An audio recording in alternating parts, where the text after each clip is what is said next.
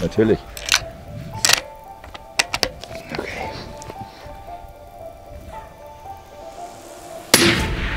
Ja, Hit.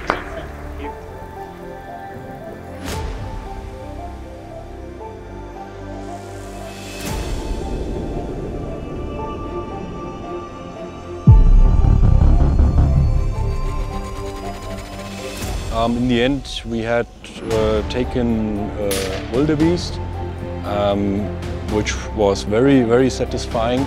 The penetration, the effectivity. right here. And well, since it has like two pieces, one of them uh, uh, expands and the other one gets the penetration. Um, and the thing is, here in Africa, we always want, as we are all meat hunters, we don't want uh, too much um, destruction in the meat. And it had very good, uh, satisfying We shot the blue wildebeest um, with the Evolution Green RWS, uh, 6.5 caliber. So it's a very good pepper, uh, penetration, the bullet. It does very good job.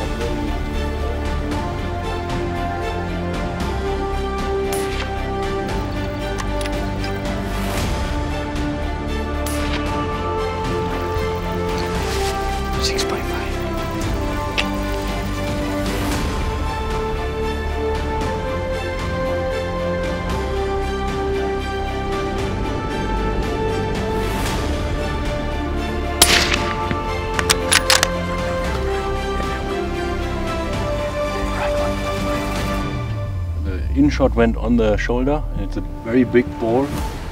So let's check. The bullet is almost through. You can see it.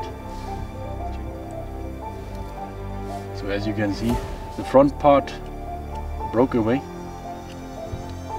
And this is the back part. It's harder. The flash held it, held it, so it didn't go through. But it's a good performance.